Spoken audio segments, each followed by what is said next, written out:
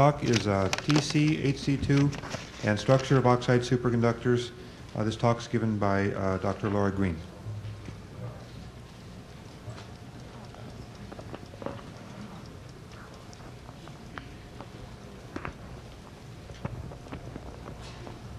This work is done in collaboration with our group from Bellcore, TC8C2 and single crystal structure of oxide superconductors. The MIT group has measured the HC2, and the single crystal structure is performed by Yvon Le Page at NRC Ottawa. There are many other collaborations going on right now with us, and here's a list of some of them now. Most of these talks are being given today, um, but feel free to discuss any of these measurements with myself or any of these authors. In our first paper of lanthanum strontium copper oxide, we found that annealing in oxygen can enhance the TC. Here we have a material 1.85.15, which we know is the optimum for this material with this doping level. And as grown is the blue line for resistance versus temperature.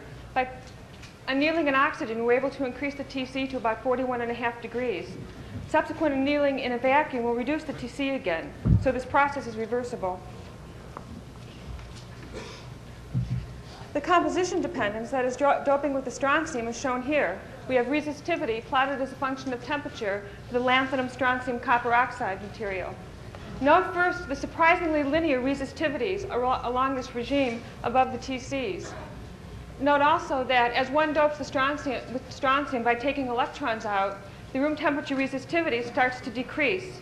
That is, the conductivity increases one would expect for a doping effect.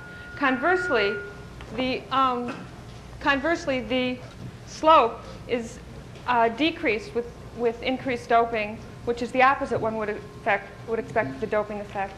This is in contrast to our rare earth substitution work in the lanthanum strontium copper oxides. Here we've doped with the lanthanides and rare earths, as shown here. Note these also have surprisingly linear resistivities throughout the temperature range up to room temperature. Now in, this, in these with the rare earth dopings, we find the room temperature resistivities are all comparable, and the slopes of all these materials uh, in resistivity are all about the same. The main difference here is that the TCs are pushed down and not are pushed down as one dopes along the rare earth uh, row from 36.8 midpoint down to 18.5 for the gadolinium midpoint. We believe that this reduction in TC is not due to a magnetic doping effect, but is due to volume change with the doping. The upper critical fields of these materials are shown here. These are the measurements. The red line is the onset of superconductivity, and the blue line is the midpoint of the resistive transition. In the lanthanum strontium copper oxide materials, this is the 0.15 again.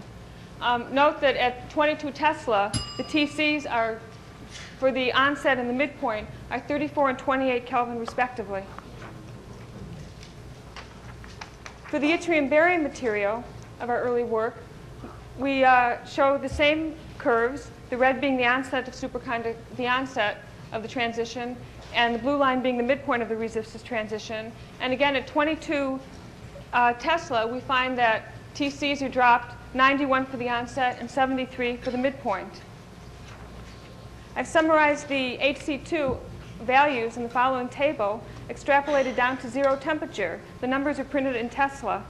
Note the surprising result, barium yttrium compound, agreeing with the earlier Bell Labs presentation, is that the, uh, the, at zero temperature, one extrapolates to between 175 and 325 Tesla, which is one of the highest materials, highest TC material, HC2 material seen to date. I'd also like to point out that the pulse field data was done at 45 Tesla. The lanthanum strontium material was measured at 4.2 K. The barium yttrium material measured at 77 K.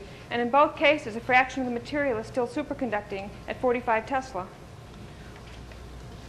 For historical reasons, this is our first yttrium barium copper oxide material measured in February. Um, the material was fabricated on January 3, 1987. I'd like to point out that this also has a typical resistive midpoint of about 91 degrees. Since then, we've isolated the phase and grown single crystals. And the results of the single crystal X-ray diffraction are, are presented here. This was done on a 40 by 30 by 15 micron crystal. We have significantly larger in the millimeter millimeters range right now of single crystals. Um, this is the this is the material that some people agree and disagree with on the oxygen. Um, it is orthorhombic, and it remains orthorhombic down to 90 degrees without any further structural change. I'd like to point out that what we have here, there are oxygens missing on the yttrium uh, planes, which gives us three copper planes. So it's a 2D electronic structure. If there, are if there are further oxygen vacancies, which we believe are as high as one here, they would occur in this basal plane between the bariums. Notice also the slight uh, distortion that remains down to 90 degrees of the oxygen being pushed slightly higher in these planes. Thank you very much.